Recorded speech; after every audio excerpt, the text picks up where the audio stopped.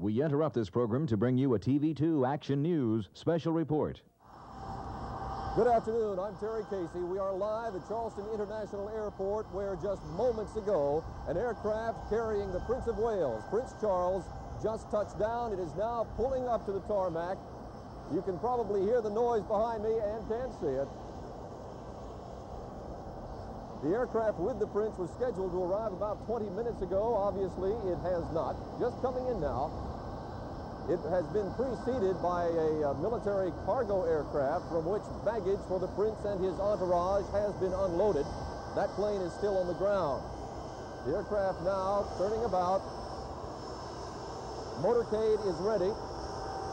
Governor Campbell is among the dignitaries who are waiting to greet Prince Charles on his arrival in Charleston as is Charleston Police Chief Reuben Greenberg, who, as you may know, is on loan to Alabama. I saw the chief just a moment ago. Uh, he is down on the other side of a fence where all media is being restricted. Now, you've heard about the red carpet. They are rolling it out literally. What would a royal arrival be without unfurling such a carpet? And there it goes, the door opening now from the aircraft. The prince just arriving in Charleston from a stay in Florida. He will be here for two days to attend something called the Business in the Community. It's an international conference of which Prince Charles is president.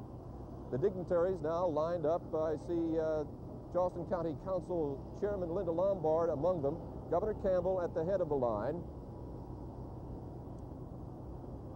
Some beginning to emerge from the aircraft now. A blue folder handed one gentleman. There is heavy police security here at Charleston International Airport for the Prince's arrival. Charleston Police, North Charleston Police, State Department security also on hand.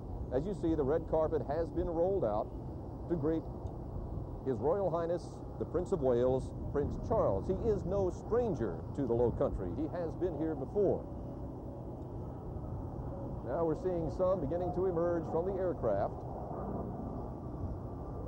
And as we await for the uh, Prince to disembark, I'll tell you just briefly a little bit about this Business in the Community organization of which he is president. It is here to hold an international conference of business executives from all around the world, the U.S. and Britain, obviously, but also business leaders from Canada. There he is. There's Prince Charles now walking on the red carpet, shaking hands, greeting Governor Campbell, and going on down the line.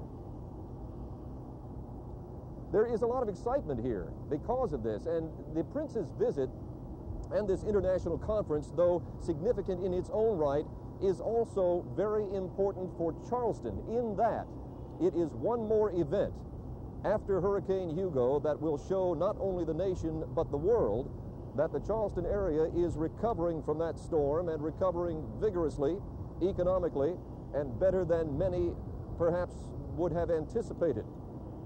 As you know, uh, preceding this arrival over the weekend was the Southeastern Wildlife Expo, which is the uh, bellwether event prior to the spring tourist season in Charleston. That was another major event that began to show folks across the country that we're doing all right. This, of course, is drawing international attention and will just bring that point home even more.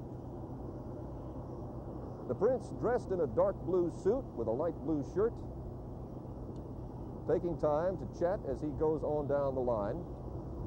He will, well, actually, we're not certain what he will do when he reaches the end of the red carpet, whether there are plans uh, for him to go inside or whether he will just climb into the motorcade. It appears that's where he will be heading. Prince Charles now making his way to the motorcade. On the top of the terminal at Charleston International Airport are uniformed officers. They are armed with high-powered rifles and scopes just in case. The security presence here is tremendous. Normally 12 to 15 uniformed officers are assigned to the airport anyway. That is at least doubled or tripled right now, not including undercover officers. The Prince now preparing to climb into the car. The motorcade will leave Charleston International Airport and head downtown for the beginning of the session Business in the Community. The Prince is scheduled to make a speech to the opening session at the Old Exchange Building later this afternoon, and uh, it is fitting that it will be in the Old Exchange Building since that was a seat of government when South Carolina was a British colony. Now, you may see uh, Chief Reuben Greenberg down by one of the, the cars in the motorcade. Uh, Chief Greenberg is back to us now. He is in a gray suit. And he must be delighted to be back in Charleston. So there won't be much, uh, much ceremony here at the airport other than rolling out the red carpet and climbing into the motorcade. Uh, the police escort now beginning to pull out, and uh, the motorcade will follow. Several limousines. By the way, I talked with a limousine company. They are not allowed to raise their rates even for royalty. So the standard fare is $75 per limo. They are now departing Charleston International Airport for a quick ride downtown where the Prince will stay today and tomorrow for this international conference of business leaders. TV2 Action News has crews all along the way. We will be covering Prince Charles during this entire stay here in Charleston prior to his departure for another session in Washington.